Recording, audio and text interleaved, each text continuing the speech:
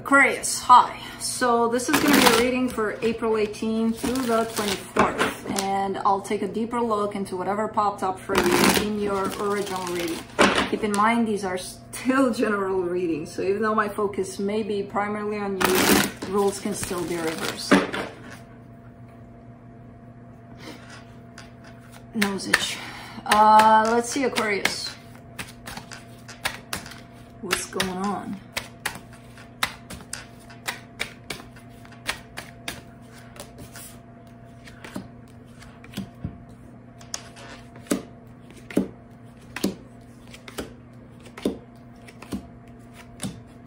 Oh, the overall energy for the reading, the Ace of Cups. Brand new beginning in love here. Possible. Uh, in the recent past, the Three of Cups, the Page of Wands, the Seven of Pentacles, really wanting to. I don't feel like this is coming in as a reconciliation or restoring a situation. It could be that really getting into that place of renewal for a situation that you've been in. There's this openness, there's this sense of curiosity, there's this you know what, let's do this, let's do that, let's do a few things more than we used to do. Or there, there's this desire to work on things, to make things a little, not even better, because I don't feel like they've been necessarily broken, but more light, more loving. I don't know, bring out the love a little bit in the situation. Anyways, in the current situation, the Nine of Wands, the King of Swords, the World card it's that um, energy of my way or the highway. I say no to this. It's going to be no. Nobody's going to convince me otherwise. Uh, it's a pretty rough around the edges kind of an energy, a pretty, hmm, a little controlling. Um, I feel like you're kind of closing a cycle in regards to this energy. So I'm not saying you're not going to do that anymore. It's just kind of looking like it's shifting someplace else where it's not to show up as such no you know? Um it's not to look as rough anymore. You're mellowing down here. In the immediate future the ten of pentacles the knight of cups the seven of swords.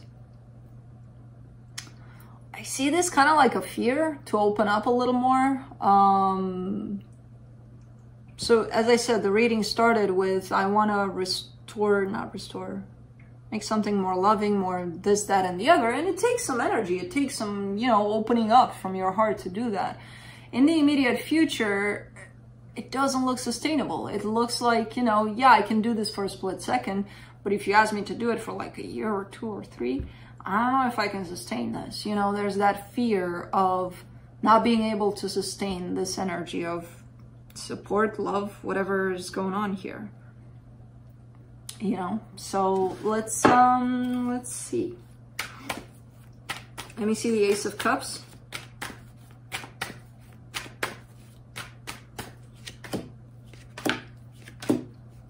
The World card, the Six of Cups, the Ten of Wands. What is going on here?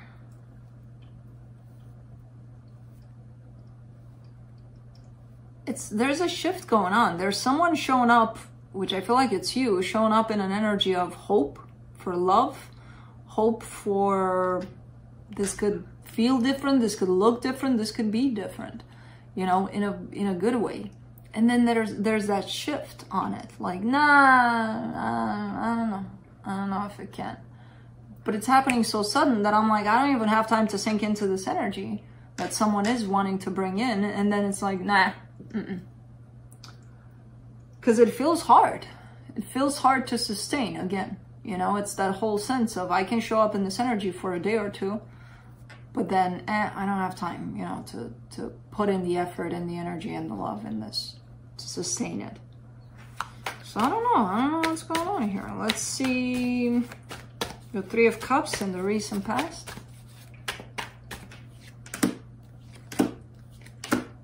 The Four of Cups, the Temperance card, the Three of Pentacles. Yeah, someone wanted to... Oh, maybe that's the issue. It's like, let's say you're in a situation that has problems here and there, you know? And it's like, the way you're coming in with this new energy, it's like, let's erase everything and let's throw in love, you know? It's bombarded with love. And that'll make everything go in. It'll be, you know, so I can understand now why things have twisted and changed here from this place, like fast.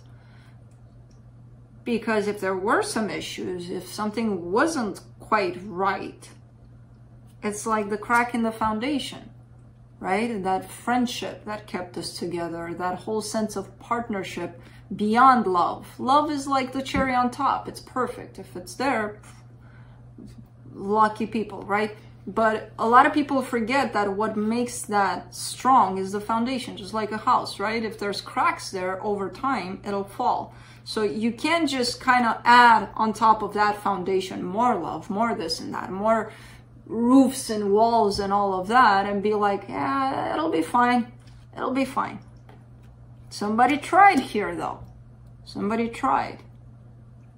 Because someone has been unhappy in a situation for quite some time. And they're like, we'll, we'll erase that. Throw in the love. Should be fine.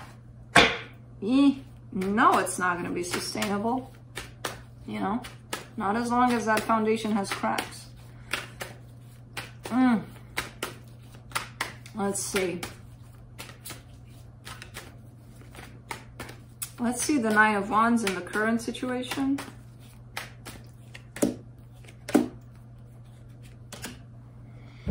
The King of Swords, the Four of Swords, the Hierophant. Someone is stepping into this role of almost like the provider, the I'm in charge, you know? Uh, now, the Hierophant usually is pretty spiritual, deep, knowledgeable. There's a whole lot of sense of stepping into this role.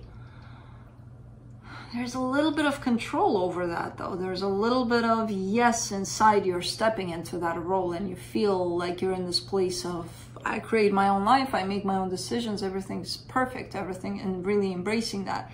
But coming from the place of the mind, if you're pushing it a little too far, you're stepping into that place of control rather than understanding how you create your own life and how you know you allow for it to unfold and you're there to, to, to just throw in the ingredients for it to go in the direction that feels right to you uh, it's like someone is forgetting about that aspect of feeling and is kind of pushing all the right buttons to satisfy their ego rather than how they truly feel. Um, mm -mm -mm. And there is a little bit of resistance to this energy, but it's still coming through. You know, there is a little bit of this doesn't feel right. There's something in this that, mm. but it's still so powerful from the mind that it kind of takes over. Let's see the King of Swords. The Eight of Pentacles, the Hermit, the Eight of Swords. Yeah, when you go within, then something doesn't match anymore because the mind perspective has taken over so much that whatever you feel inside doesn't align with what's going on on the outside. And it starts to get confusing and it starts to get icky and it starts to be frustrating. And it's like, what the hell is going on here? Because when you're, well, when you think you're under control over everything that's going on, the universe is going to show you, no, you're, you're probably not. So it's, it's going to have its ways to sneak in there and show you, nah, this is not aligned with what's going on inside here. So no, mm -mm, this is aligned with your ego. You wanting for things to happen here, now, then, you know. So it's gonna get confusing and I feel like that's where you're at right now. Let's do the world card. It's that adrenaline, that feeling that you're in control. When in fact, not really. For the world card, you get the Six of Swords, the Fool, the Seven of Wands. All right. So from this place where you established, I'm going to push all the buttons needed to satisfy my needs, when in fact, beyond that is your ego. Because uh, again, if you're in the King of Swords about it two times and so pressing, that's satisfying your ego, not your real needs. Uh, but from this place, you're deciding, I'm going to move on. I'm going to embrace the world with whatever it has to offer me. I'm going to be, you know, whatever. We'll see what comes next. But you're showing me resistance to that too, which makes sense. Because if you have stepped into your ego, there's going to be resistance to opening up to what the universe has to show you. Um, because you may not like it and you may want to press a different button, you know? Now,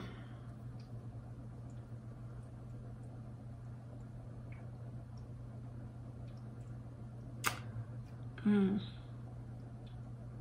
I get the sense that you're a little bit stuck in this energy though. Uh, which is telling me that you may not see clearly that this is what's happening.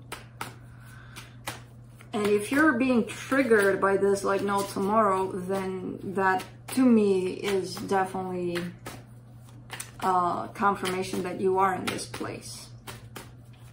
You know, if you're like, no, I'm not, I'm doing it because I feel that it's right. No, the feeling is gone. The feeling is not here. It's because you think. And that would be the problem. If that's the case and you find yourself in this place, start feeling a little more as confusing as it can get. Start feeling, go through that confusion. Um, because you're in thinking mode a lot here.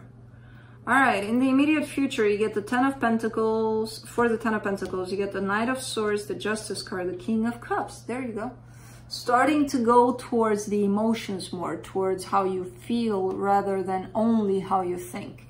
I feel like you got up in this, you got caught up in this current of thinking and you may be telling yourself that no, it's an aligned kind of a mode. It's I'm aligned with my emotions too. It's everything is in there. The emotions are there too. They're not. They're not showing up for me. Now in the immediate future, when you intentionally go towards that place of your emotions, they're showing up big time. You know, very different energy here. Very different. Um, where there's a sense of trying to fix something,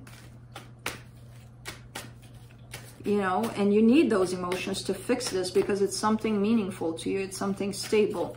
And if you've been acting within this space of the mind towards the situation, I can understand why you're trying to, to bring out the emotions so that, you know, everything falls back into a place of balance. Um, let's do the Knight of Cups in the immediate future. Whew, awesome. The Sun, the Ten of Cups, the Seven of Cups. Okay, so now the emotions are starting to show up. Now I feel like even the Sun is starting to come out more. Um, I, I, for real, the Sun there, not the Sun here, even though the Sun is here. Um, yeah, as soon as you open up your heart again, it's going to be options left and right to create this happiness, to make this happiness come together, to make the situation come together in a beautiful place, you know? Right now, there are no options. There's just buttons that you can keep pressing from the mind. In the immediate future, the universe is going to serve you with a, with a plate of options on how to get here to this happy place. Let's see the Seven of Swords.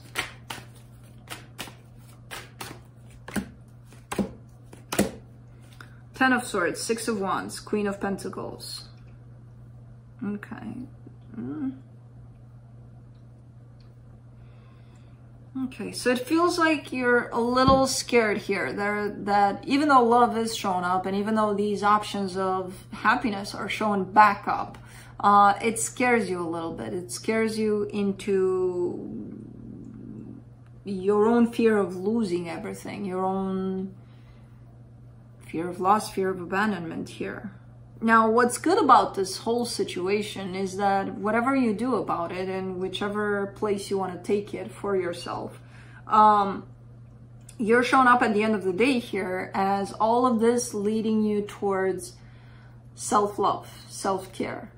Uh, self-love most importantly because that's when your emotions need to come out. You know, that's when you really need to feel that place because if you don't love yourself, nobody else will. Right? So when somebody else shows up as a potential of, oh my God, they can offer me this, first you got to go back to you and offer this to yourself. So I feel like that's where all of this is leading towards, towards you doing that from your own fear of maybe I'm going to lose this. Mm. If you love yourself here, chances are somebody else will too, you know, for as long as you love yourself. Interesting reading. Let's see what the universe has.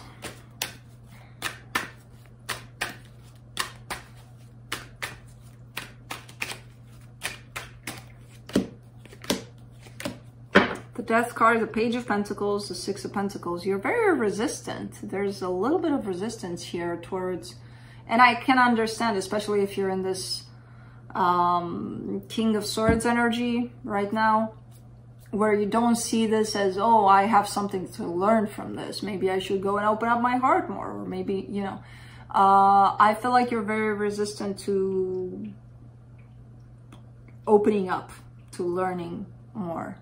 And again, it makes sense, right? If I'm in control of things and I feel like I've got, I can do whatever, whenever, what else do I need to learn? You know, I'm creating my own life, pressing whatever buttons I want, when I want. I got nothing to learn. I got it. So there's a little bit of that going on here. So try to stay more open. Try to... Um, I see it coming in the immediate future that it's kind of going to hit you and you're going to be like, okay, I need to friggin' open up. There's no choice here. I don't see the transition to that though. I'm like, how do you get from there to here? I don't need to know. You'll know. It's an individual process, I'm sure. But for right now, you're showing up as very resistant to anything other than buttons that you can press whenever you want to. So that's what I have for you. Hope this helped and I'll see you next time.